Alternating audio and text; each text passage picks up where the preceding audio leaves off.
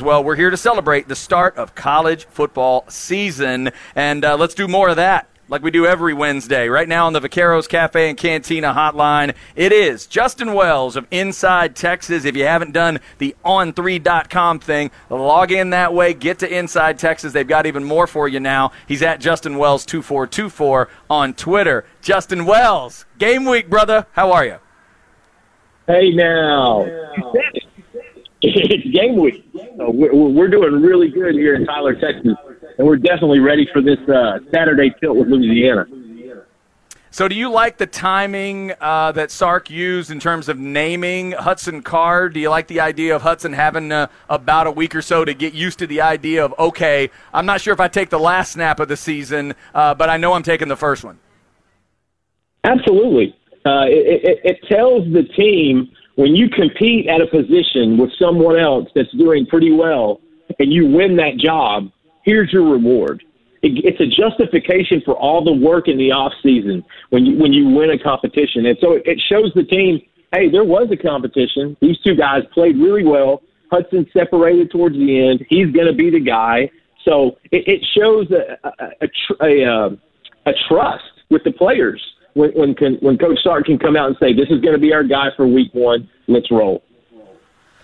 Justin, some insider sites brag about breaking news that we all kind of knew, while other insider sites show that they knew what was going on all along by announcing NIL deals. Congrats to you guys for the relationship that y'all have with Hudson Card. A series of interviews that actually started at the beginning of fall practice will continue throughout the season. What has impressed you most so far about y'all's dealings with Hudson Card, and what do you expect the relationship to look like throughout the season? You know, get, I've gotten the privilege of, of getting to know Hudson over the last few years, uh, back in his days at Lake Travis, and and and, and I, I, I, there's not enough words to describe him as a person. Like he's there's so much positivity that comes from Hudson Card. His demeanor, his attitude, his, his way that he approaches life. He, he's really a, an incredibly mature young man. Now his his on the field potential is through the roof. We all know that. We see the upside.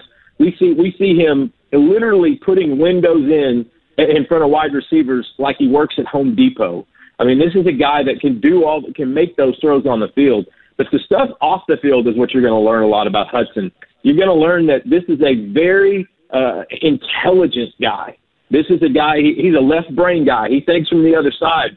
He, he never gets too high, he never gets too low. He's always an even keeled guy. I, I've had someone inside the program tell me that if Hudson's running with the ones, the twos, or the threes on a certain day, you couldn't tell the difference. That's his attitude. Whereas, you know, Casey Thompson, I think, approached this competition this offseason as I'm the guy, which is you want that confidence in your quarterback. But he approached it as I'm the guy. I, this is my job. I'm going to win it. This is this is what I was here for. I've been waiting for it. I believe Hudson approached it as I'm going to take it play by play, practice by practice, and segment by segment.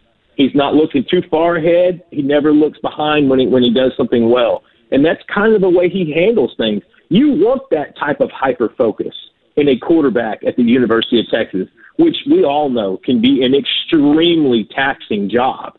It can also give you, you know, lots of rewards as well, when, especially when you when you're successful. But Hudson's a guy you're going to learn just how team oriented this guy is. I mean, he Joe Cook has been absolutely killing the Card Knock series, and I love what Hudson said. I believe it was in the first part or maybe the second, where he said, you know, everybody's worrying about your job. Well, it's not a one man job, it's an 11 man job. And if we can't trust each other, we won't go very far. And so that mentality is huge.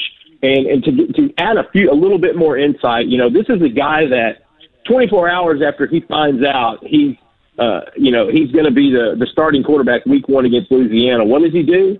He goes into the offensive line room and watches video with his offensive line. He's like, hey guys, can I come in here and watch video with y'all?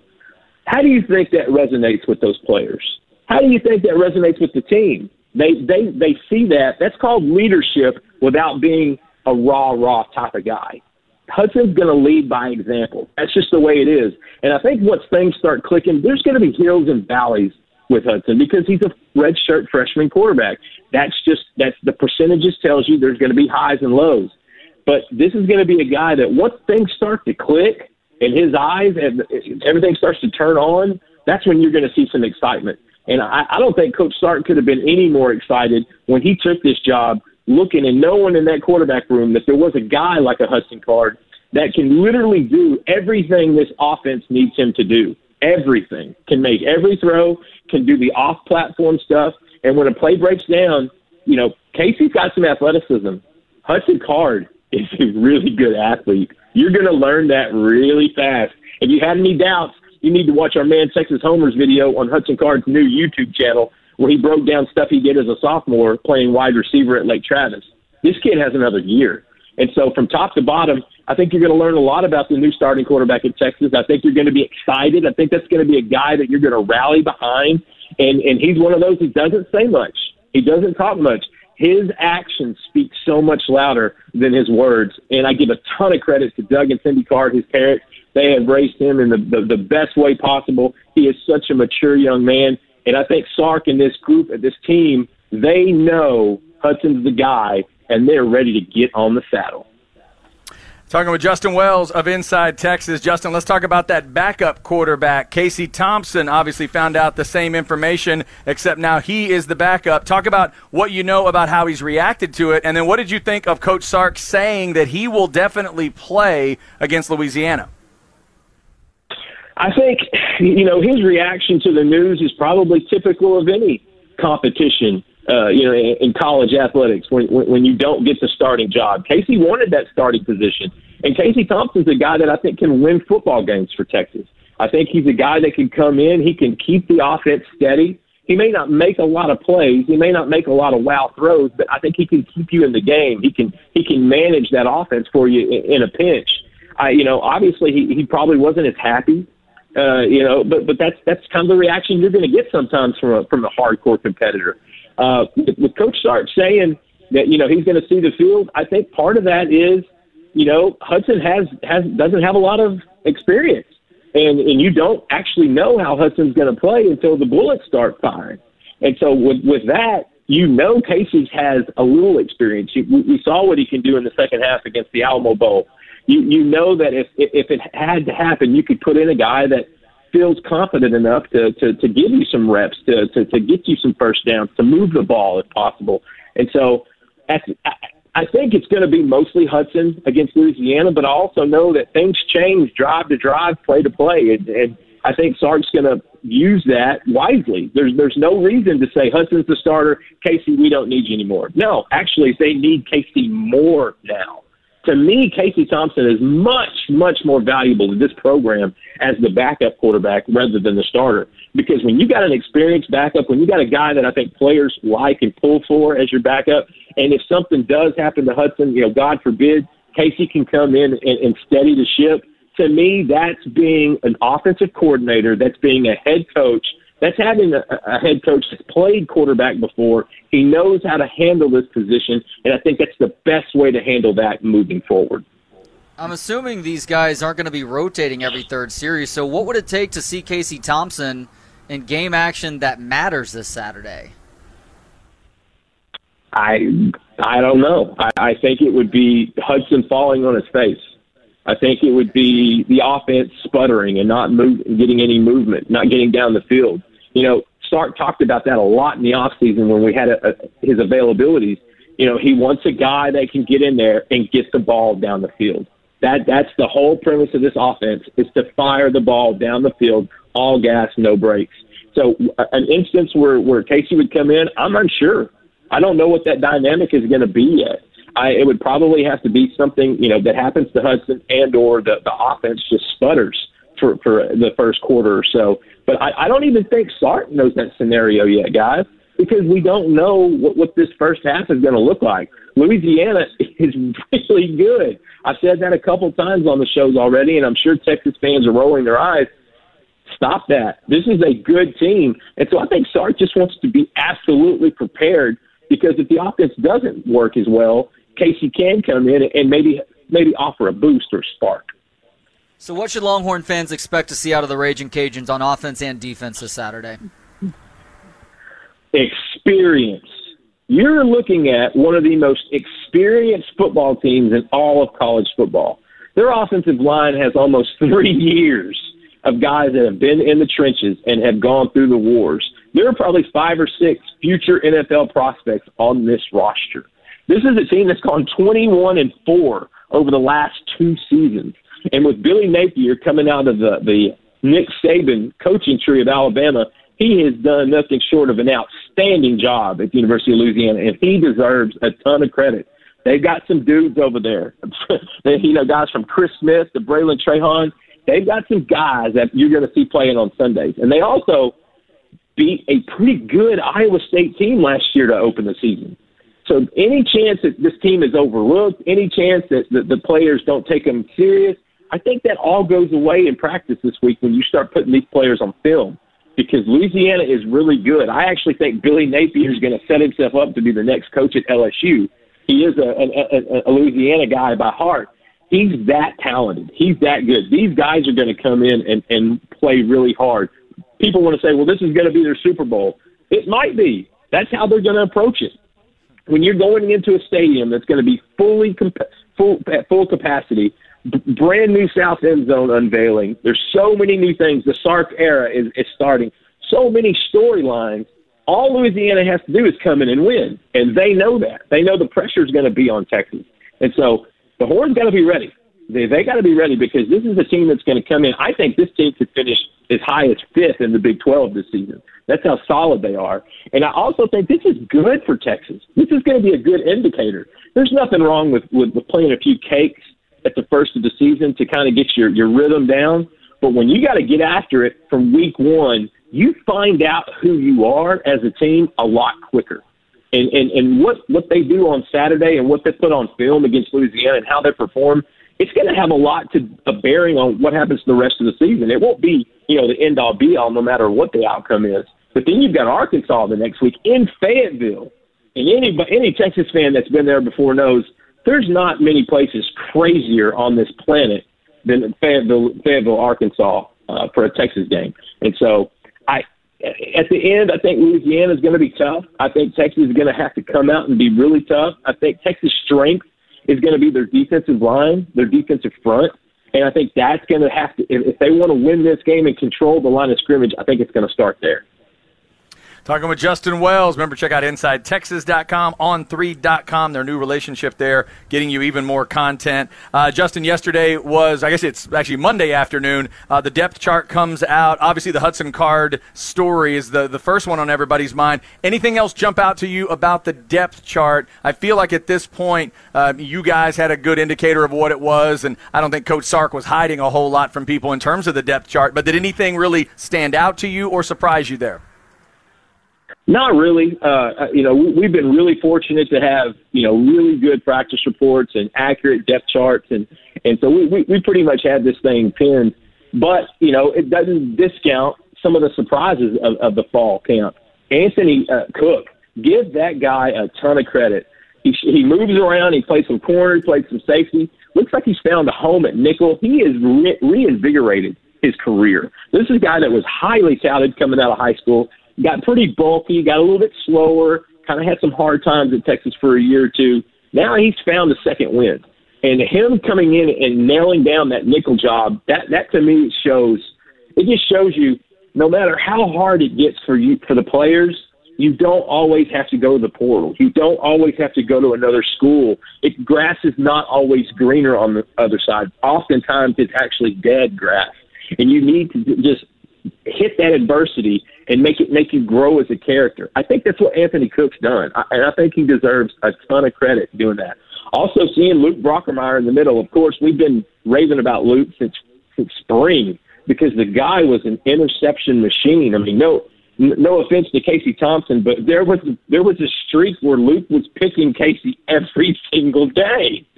And so that guy really earned his his stripes. He earned that that, that right to stand up there and, and uh, play beside DeMarvion Overshown at linebacker and, and bring that. And so, not a lot of surprises on the depth chart, but I wanted to, to highlight those two guys because I think they've had really good off seasons all the way from spring and into fall camp. Give Luke Brockermeyer and Anthony Cook a ton of credit there. All right, Justin, we're going to avoid Cowboys talk this week because, well, there is, really isn't a ton to discuss, and we will get your preview on that team Wednesday before their Thursday night affair with the Tampa Bay Bucks. I did want to run through the Big 12 a little bit, get your predictions on the conference, the national landscape, and the Longhorn season as well. So, starting in the Big 12, who is the most overrated team in this conference? Mm. TCU. Hmm. I agree there's, with that. There, there's, the talent, un- there's talent there. There's talent there, and Max Duggan can play. I think I think there's a lot of ability there, but I also think that Patterson is pushing all his chips to the center of the table with this season. Uh, that that program needs a boost because they haven't been successful over the last few years. Patterson's been there 20 plus, and a lot of times those places need a new voice. And so I, I feel like TCU, which has been a thorn in Texas' side uh, since they've entered the Big 12, that that that's without debate. I do think they're the most overrated team in the Big 12. 100% agreed with that analysis. Most underrated team in the conference. Ooh. If if if Kansas State gets their quarterback situation right like they had it last year, I think that team is formidable. I think those guys are good. Chris Klieman does a really good job of not only recruiting and building a culture, but but finding guys to fit his system. And so if Kansas State can come in there and really get back to where they where they began last year before they lost Skylar Thompson for the season, if they can get quarterback back to where it was, I think Kansas State is one of the more underrated teams in this conference. And I think going to Manhattan can always be a tall task. So there's a couple other schools I like in this conference. That, that I mean, I, I want to. If if the if the quarterback situation at Baylor was a little better, I, I'm not the biggest fan of Gerry Bohanon. If that situation was a little bit better, I'd probably give a nod to Baylor because I think their defense is going to come back really solid. They've got some guys and Jalen Pitre and and they've got some dudes that can play. But most underrated, I'll give it to Kansas State. I don't understand why Dave Aranda went with Bohanon over Zeno, especially because he brought an OC in specifically this last or this offseason to spread things out and throw the football a little bit more. Gerry Bohanon is not that guy. he's not that guy. And the truth be known, the best quarterback on that roster is a freshman walk on right now. Give it a few years, and you're going to see C.J. Rogers as the starting quarterback in Waco, and and you're going to see a guy that can really chunk the ball up and down the field. All right, who is playing for the Big 12 title in Jerry World in early December, and who wins that Big 12 championship? I think it's going to come down to Oklahoma's going to be there. I mean, they've essentially, I think they've put up a series of apartments in Arlington just so they know where they can stay each year in December because they, uh, it's an annual ritual for them to show up to AT&T Stadium. The other team is going to come down to Texas and, and Iowa State. Right now, I'm leaning towards Iowa State because to me, Texas is still kind of an unknown. We don't know exactly what the offense is going to look like. We don't know exactly uh, what the defense is going to be able to do in PK's new system, even though it does look like it's going to be unbelievably positive. And so it's gonna it's gonna come down to Texas and Iowa State meeting up in in, in Arlington. I I know I got to make a pick, and it's tough, but I, I think Texas can overtake Iowa State. The last two years, the Cyclones had barely beaten Texas. Uh, in, in both games, Texas was completely overplayed. They were completely outcoached. That's not going to, I don't see that happening this year. They're definitely not going to get outcoached. And I don't think, from a talent standpoint, Iowa State can match up with Texas when you go you know, offensive line, offensive line, D line to D line. They've got Breece Hall. They've got Charlie Kolar. They got guys that are really good offensive players. And of course, you have Brock Pump, uh, Pump Fake Purdy. My man Ian Boyd is a big fan of that guy. And so we know what Iowa State presents. But I think it's going to be a challenge for Texas. And if Texas can beat Iowa State and sneak into that second spot, Texas and OU in the Big 12 championship in Arlington in early December looks like my prediction. Okay, so who wins that game? Oklahoma. Okay. All right, college football playoff final four, and who makes it to the championship game and ultimately wins that title? Man, pressure's on. Woo! Final four. Uh, I think you're going to see another listing of the Blue Bloods. Um, Clemson's going to be there. DJU is the new quarterback, and you're not going to see much difference in him and Trevor Lawrence. DJU is legit. The dude can chunk the football. Uh, Alabama's probably going to be back. Uh, obviously, they lose. Uh, they lost a lot of guys, especially on the offensive side. but it's Bama. They don't they don't rebuild, they reload. And Bryce Young is special. Mac Jones was a three star that just went in the top in the first round to the New England Patriots, and he has no upside that Bryce Young holds. And so the kid from Cali is going to take the reins, and, and, and I think Bama will be there. Uh, Ohio State, I, I think Ohio State, and it's going to be between Ohio State and Georgia for the last spot. Uh, I, I, I'm, I'm, I'm, I want to see how Ohio State does without Justin Fields. I want to see, and I know C.J. Stroud's got a ton of upside. I know they've got a really good defense. I want to see kind of how they do, but I think Georgia is going to be really good too. I think this is going to be a team that that really JT Daniels finally can take the reins, and I think there's just so much talent on defense for Georgia. Their defensive line is probably the largest in college football. And so I think those, I think Ohio State and Georgia will battle for the last spot. And so I, give me Clemson, Alabama, OU, and then I can't decide over over Ohio State and Georgia. I think it's going to be one of those two teams. Give me Georgia because I think Ohio State is getting more and more away from the Urban Meyer era, which I think is more and more Ryan Day and I don't think that's as good as Urban Meyer. And so I think you'll start to see a little bit of that trickle out. The fact that they play in the Big Ten and there's not a lot of challenges there may help them down the stretch. But Georgia is Georgia can be really good this year, guys. That's that's my sleeper to get to the national championship. If JT Daniels comes correct, if that team can can, can put together a full season under Kirby Smart, I like Georgia in the national championship. All right. All right. And last thing, I got to, well, you already said Texas is going to be in the Big 12 championship, so you have them at 9 or 10 regular season wins. What do you think happens this weekend versus Louisiana? Just give us a final score. I think it's going to be a slobber knocker. I think these two teams are going to beat the hell out of each other. It, it all starts up front. Louisiana has a ton of tough kids uh, up in that front seven, also on that offensive line. I think it's going to be nitty and gritty. I do think Texas is going to pull away because of that number five in the backfield, Bijan Robinson. I think he is the difference maker. He's your force multiplier, and I feel like Texas is going to pull it out 28 16. All right. There you go. That is Justin Wells. Check out Inside Texas and on3.com as we get closer to the game. Justin, always appreciate the time, brother. We'll talk next week. Nothing but love, gentlemen. Thanks, brother.